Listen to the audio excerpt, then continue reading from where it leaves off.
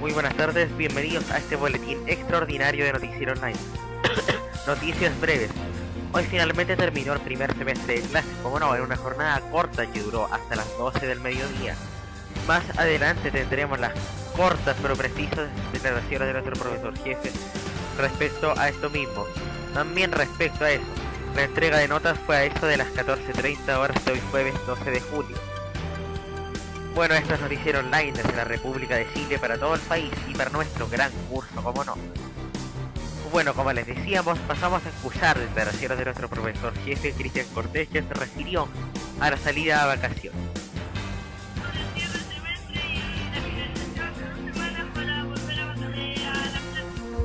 Bueno, eh, con respecto a la finalización del semestre, eh, se realizó normalmente como todos los años. Estoy bien contento porque varios alumnos tuvieron promedio sobre 6, aunque nos faltan los que se quedaron un poco más en el camino y eh, tienen malas notas, pero esperamos que ellos repunten y lleguen con nuevas energías para el segundo semestre. Y con respecto a las vacaciones, bueno, es un periodo en el cual logramos tomar nuevas fuerzas, así que les deseo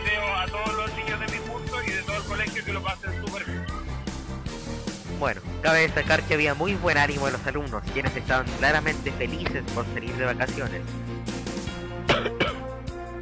También agradecemos a nuestro nuevo reportero aficionado Nicolás Yaya, quien nos consiguió estas declaraciones y reacciones en, horas de la mañana, junto con Pedro Olivera, a quien también le agradecemos su importante aporte.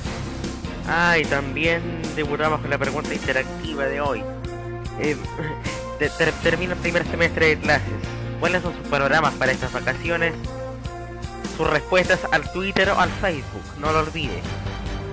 Muy buenas tardes, felices vacaciones a todos y a todas, como no, y gracias nuevamente por estar ahí. Los dejamos con imágenes de la Unidad Operativa de Control de Tránsito.